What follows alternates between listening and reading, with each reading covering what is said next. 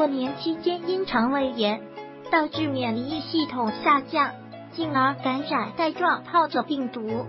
资料照即时新闻综合报道，天后蔡依林过年期间因肠胃炎导致免疫系统下降，进而感染带状疱疹病毒，在眼周处出现红疹肿胀，让她在大年初二直奔医院。熟知内情的医生指出，幸好蔡依林及早治疗，否则病毒跑到眼睛，后果不堪设想。蔡依林日前贴出病后的照片，翻摄自 Instagram 时报周刊报道，蔡依林是前往台大医院内科病房 VIP，院方采高规格对待，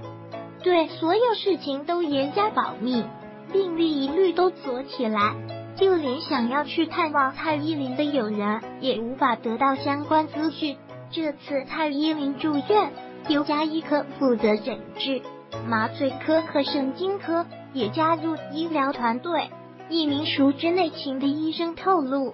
幸好蔡依林发现的早，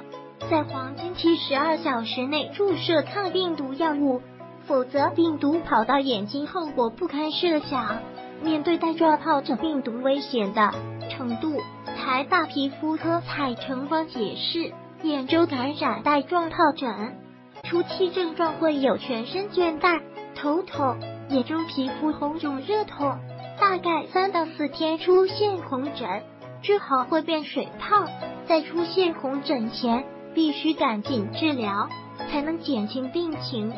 并缩短疗程。蔡成芳提醒，一旦眼睛受到感染，严重的话会有涂胎膜炎，是神经炎；急性视网膜坏死，影响视力。对于台大医院组成医疗团队为蔡依林治疗，其经纪人王永良表示：“